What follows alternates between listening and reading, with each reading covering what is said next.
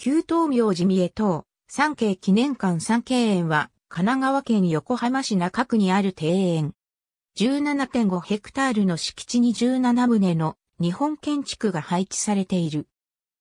実業家で茶人の原富太郎によって1906年に造園され、現在は公益財団法人三景園保証会が運営している。名称の三景園は原の号である三景から。2006年11月17日に国の名称に指定された。財団公式サイトでは旧字体の景を使うが、横浜市公式サイトなど新字体で三景園と表記することも多い。三景園は国の重要文化財建造物10件12棟、横浜市指定有形文化財建造物3棟を含め17棟の建築物を有する。三景園の土地は原富太郎三景の養祖父である原善三郎が1868年頃に購入したものである。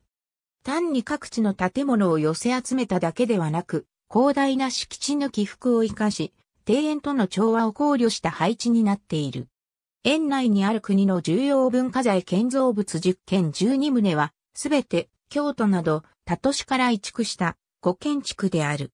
移築自体に本来の価値に対する評価を投げかける意見もあるが、中には現地で荒廃していた建築物を修復して移築したものも含まれている。原富太郎は岐阜県出身の実業家で横浜の現商店に養子として入り、キート貿易で財を成した。原は事業の傍ら物が茶道具などの古美術に関心を持って収集した。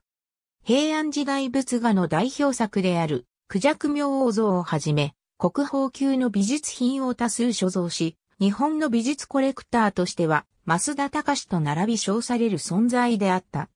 彼は古美術品のみならず、室町時代の東明寺にあった三重塔をはじめとする、京都他各地の古建築を購入して移築。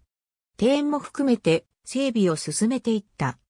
1906年5月1日に市民へ公開し、その後も建造物の移築は続けられた。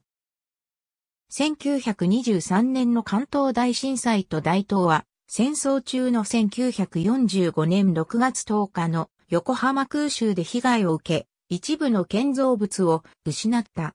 なお、旧東明寺本堂、合掌造りの旧矢野原家住宅などは、第二次世界大戦後に三景園へ移築したものである。また大戦中に抑留された連合国側の民間人が三景園で抑留所同士の野球の交流戦を行っている。原富太郎の古美術コレクションは、戦後の混乱期に散逸し、建造物だけがかろうじて残った。1953年に財団法人三景園保証会が設立され、再び庭園の整備を行い、今日に至っている。1970年1月には、本木海岸の埋め立てに伴い、海側に難問が設置された。1989年9月には、内縁の御門そばに、原の業績に関する資料や現実室の書が、原にゆかりのある作家の作品等を展示する、産経記念館が開館した。2000年には、会議、パーティーなどにも利用できる、鶴昇格を復元した。この建物は、横浜市指定有形文化財に指定されている。毎年、完売会、観王の夕べ、ホタルの夕べなどの季節に応じた催し物を開催している。臨春閣月角の長州閣旧天随寺、樹東福道旧統計寺仏殿旧矢野原家、住宅公共交通機関を利用する場合は、以下の通り。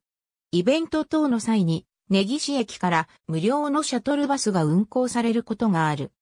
また、毎年2月末にパシフィコ横浜で行われるカメラ展の CP の開催時には、パシフィコ横浜から三景園まで無料のシャトルバスが運行されている。ありがとうございます。